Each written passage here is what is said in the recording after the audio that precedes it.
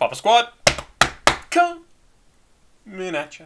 Hey everybody, it is Saturday. It is 8 o'clock in the evening.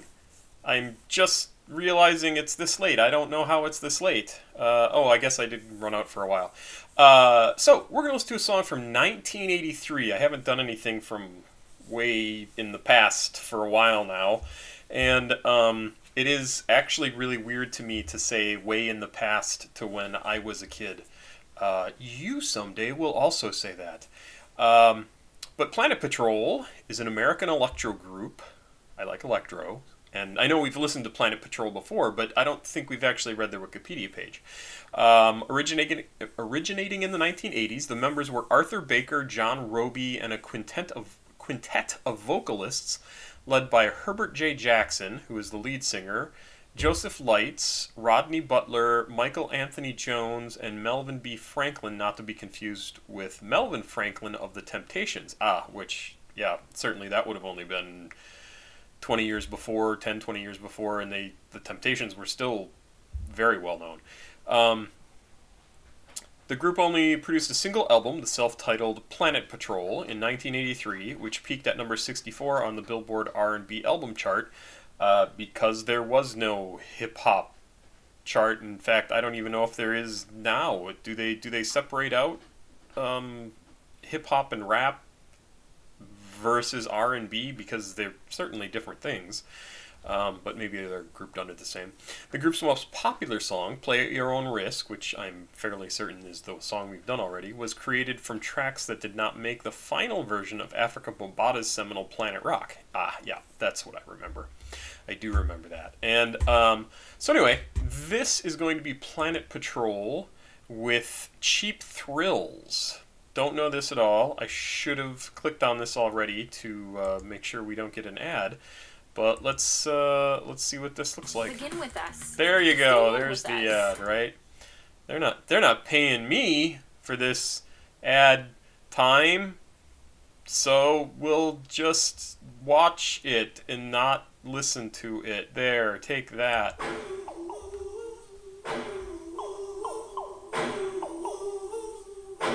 I like that.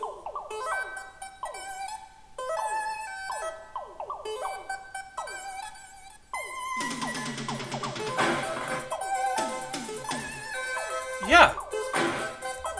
What the what?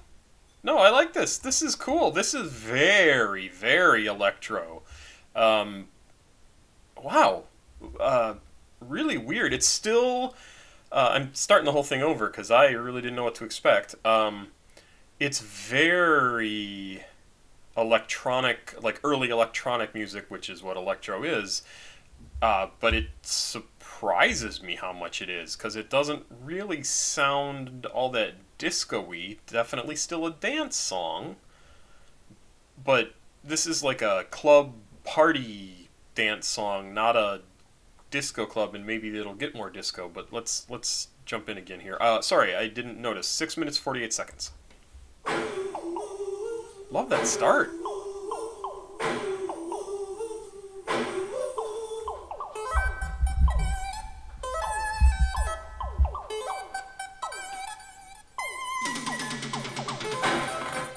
Nice.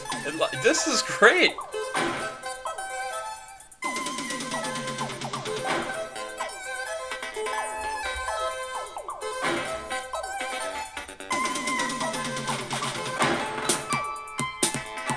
Ah, there's there's the very 80s simple electronic beat uh, to the drum that really anchors it in that time period like so so much.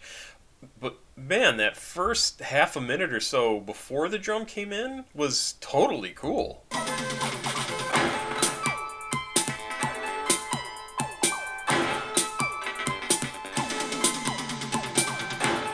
this piano thing was also very common in, at this time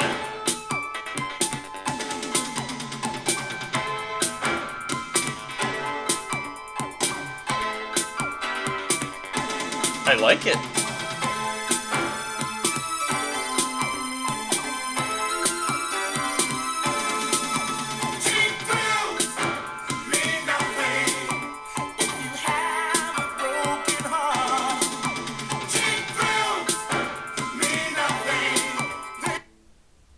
So it's interesting because um, you don't really hear this anymore, where you've got two, three, four, five different people singing at the same time, and and I th- I'm not sure exactly how they recorded this. If it was one person, and then they record the next person, and they layer it all, or if they're all in rooms, or you know one person sings and then they get whoever's backing them up to sing together. But you don't really hear that anymore. It's very much about a like a lead singer or a couple of singers. Uh, and this is sort of interesting because I was trying to think like why does this sound so much as like the singing uh, so much of as being from the 1980s and I think it's because it has multiple singers which is interesting to consider.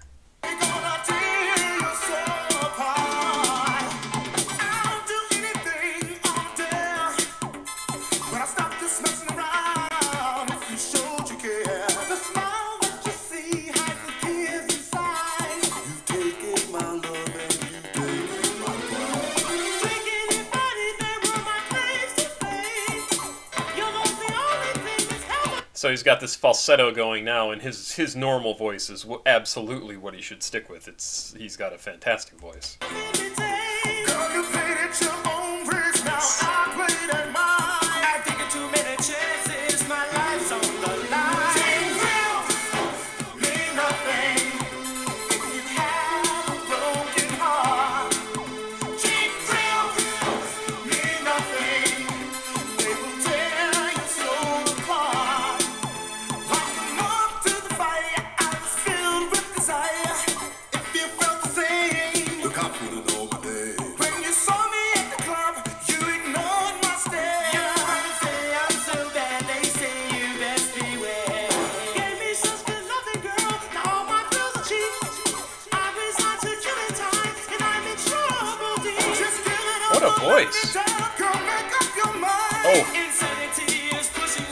It's so great to hear all the individual voices of the, the people who were singing together uh, because they're they're sort of similar. I can certainly pick them out one to the next when they are are right next to each other.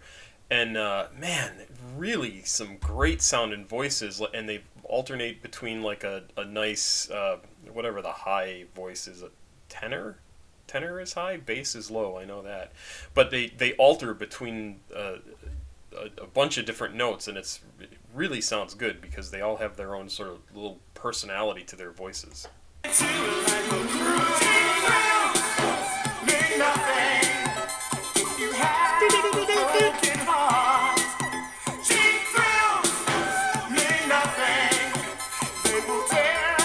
So remember, we got sounds like in the middle of songs like that back in the 80s so you don't have to have them now because they were they were playing to see what sounded good. And uh, just like evolution is real uh, evolution in music is also real. And you know this this is what music has has sort of become over time. And it started with which I think is just a ridiculous thing to include in a song.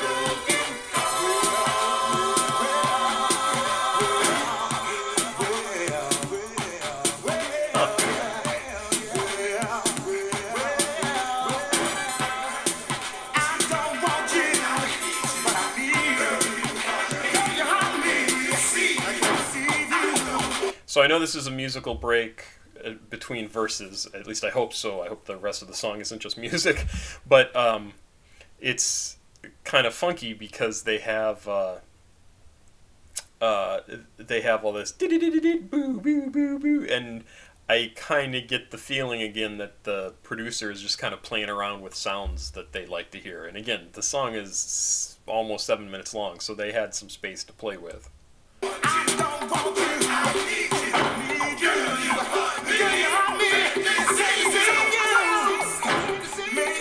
Like that slamming sound.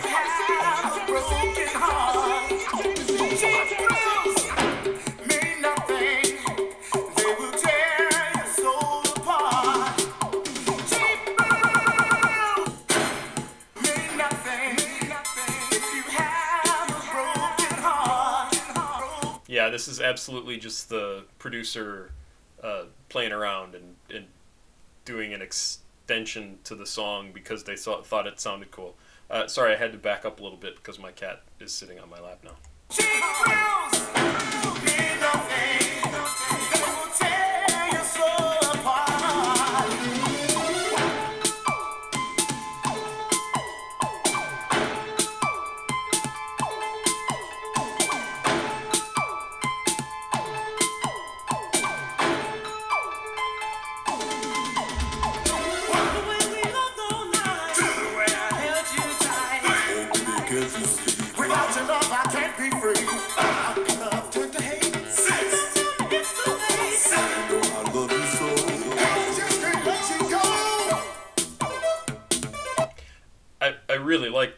The song uh, where all the guys were singing one after the other. I thought it was great, and it's it's also really super interesting because, um, and this I'm sure this is in my head just because we read their Wikipedia page that they had like five different vocalists, but they also mentioned the Temptations um, because one of the guys has a similar name to one of the people in there, and. Uh, it made me think this is very much a combination of like the 50s and 60s approach to music, especially for African American musical groups, which were, you know, three, four, five guys who would all sing and perform together and wear the same outfits and they would coordinate their movements. And this is just that moved forward 20, 25 years to a new type of music, but with the same sensibilities that were instilled in the, the people creating the stuff when they were kids 20, 25 years earlier.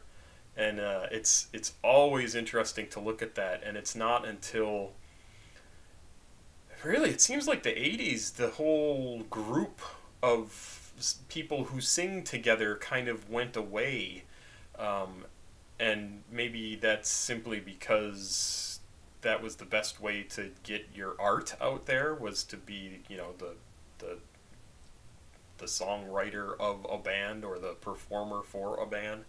Um, it's it's just sort of interesting to think about as to how like uh, there were all those groups doo-wop groups and whatever uh, r&b groups in the 50s and 60s and then because these people grew up with that music, that's what they tried to emulate, but it was with, for the time, modern music, and it's crazy to think of. And all the stuff made today, like anything Eminem makes, he's been influenced by this stuff from the 80s, and so it's constantly getting reinvented down time because everybody has their own influences that they pull in and it's just super interesting that's one of the reasons why i also like hip-hop is because those things are pretty easily identifiable.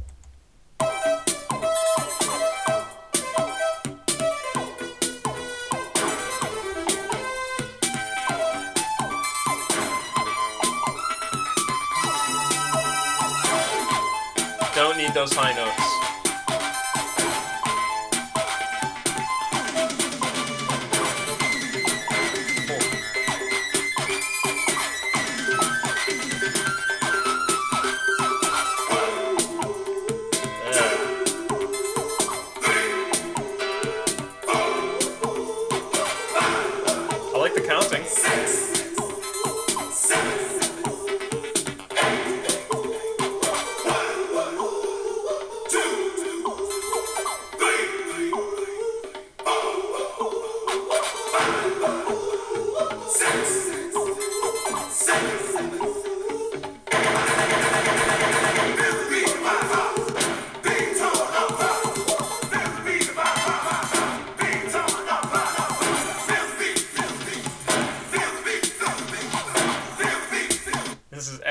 Them just playing around. They were like, this sounds cool, let's do some.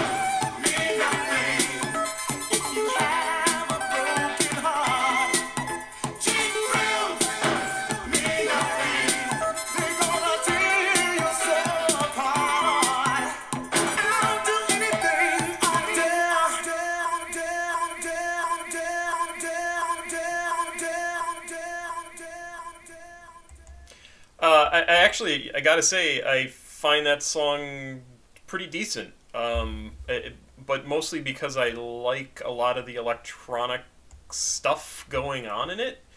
Um, it's very. it- It's not bubblegum, but it, it's definitely a very pop sort of song.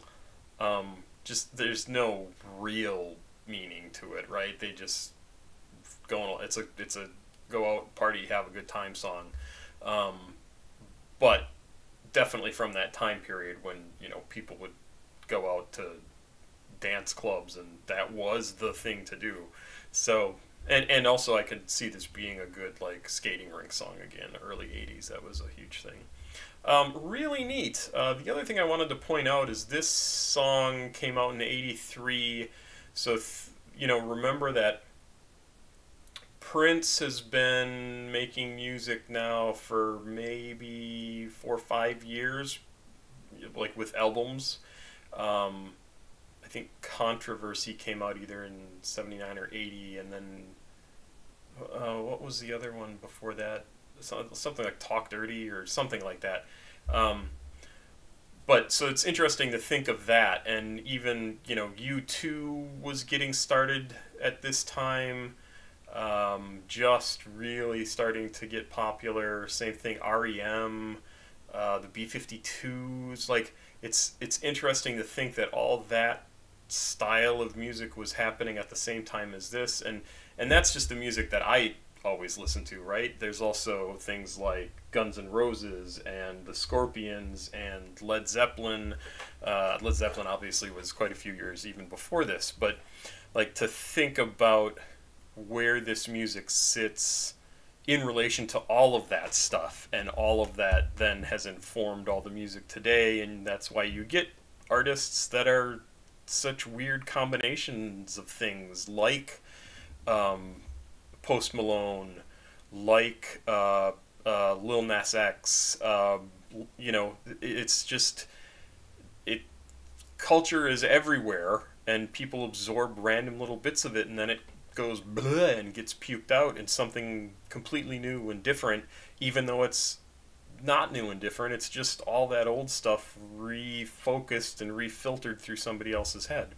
Uh, i'm talking about a lot of stuff that i don't know if it matters to any of you but this is the this is why i find this stuff interesting and, and sort of my thinking on things um, there you go. That was good. I, I thought the music was good. Um, singing, they had great voices. It's just not not a fantastic song to me, and uh, but I would listen to it again. I have no problem with it. Like it's it's just not one that I I need to listen to. Right? I think there's so much neat stuff happening in it. So anyway, uh, that's about it. Papa Squat. Checking out. Um, I think we were up to 866 followers. Holy moly. Uh, so w- welcome again, everybody. Uh, and uh, I don't keep spreading the word. It's fun to get more and more people, and I really do appreciate all the comments too. People have had some really nice things to say, and um, I'm not going to do too many Harry Mack videos, even though it gets me lots of great traffic.